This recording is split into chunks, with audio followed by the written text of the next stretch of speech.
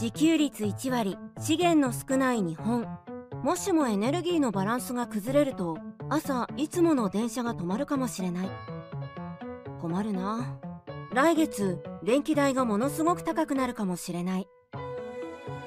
子供たちの将来温暖化が進むかもしれない。嫌だな。万能ではないからエネルギーを一つには選べない。だからみんなで考えよう。エネルギーのこれから。